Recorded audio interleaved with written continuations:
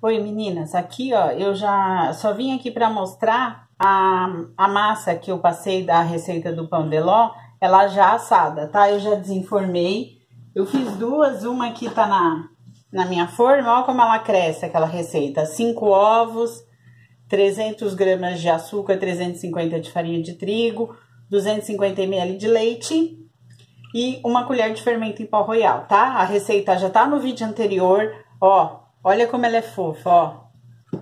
Aqui dá um bolo de 3 quilos, tá, gente? Ó, aí aqui, eu vou baixar aqui, pra vocês verem ela aqui, ó. Olha que massa, gente. Não tem, ó, olha isso aqui, ó. Ela é ótima pra trabalhar com ela. Maleável pra, pra cortar. Olha isso aqui, eu vou apertar bem pra vocês verem. Tá vendo? Tá aqui minha massa.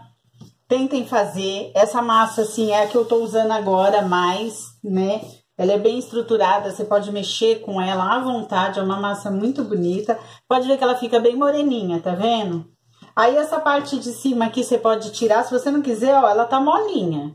Se você quiser ela mais lisinha, tirar as beiradinhas, pode tirar também, tá?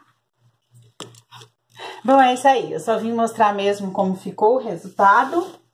E aproveitem, viu? Espero que tentem fazer. Se não se adaptar com essa, tem outras receitas aqui também.